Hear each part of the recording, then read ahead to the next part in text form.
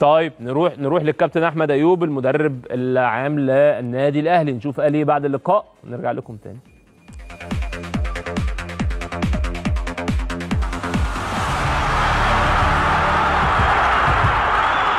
بداية جيدة في بداية البطولة. مكسب خارج الأرض ومكسب يعني داخل الأرض.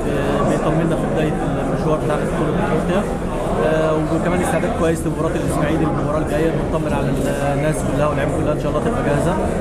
وبعد كده نبدأ نفكر بقى في فريق المغرب الأسبوعاني. أكيد المواجهة هتبقى مختلفة مواجهة عربية وفرقة كبيرة. وأكيد هتبقى صعبة نستعد بيها بعد مباراة الإسماعيلي على طول إن شاء الله. مباراة سهلة لأن يعني إحنا كنا مركزين ونتيجة النتيجه في مباراة الذهاب. يعني كانت مطمنانا واللعيبة الحمد لله كانوا مركزين.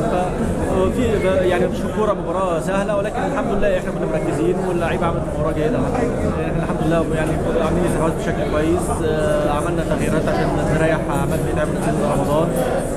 عندنا مباراة مهمة بعد أربع أيام. كان طبيعي إنك تطمن عليها كلها ونجهز كل اللعيبة. قلنا نكمل بنفس الأداء اللي إحنا يعني التكتيك اللي بنلعب بيه الحمد لله مبروك لكل مصر عوده الدوري. مهم جدا يعني النشاط الرياضي يبقى موجود والدوري يبقى موجود لأن دي برضه رسالة ان الدولة في طريقها الصحيح وفي استقرار.